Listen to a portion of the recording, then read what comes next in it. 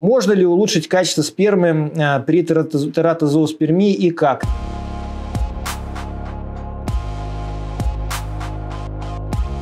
Все зависит от формы тератозооспермии. Вот мономорфная тератозооспермия не поддается лечению ни при каких обстоятельствах. Но это, конечно же, э, редкие случаи.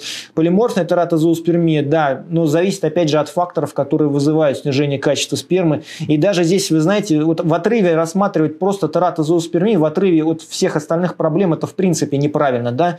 Эм, все факторы, которые могут приводить к снижению фертильности, снижению потенциала фертильности, все эти факторы необходимы необходимо выявлять и устранять. И э, только в таком случае мы можем рассчитывать на улучшение качественных показателей.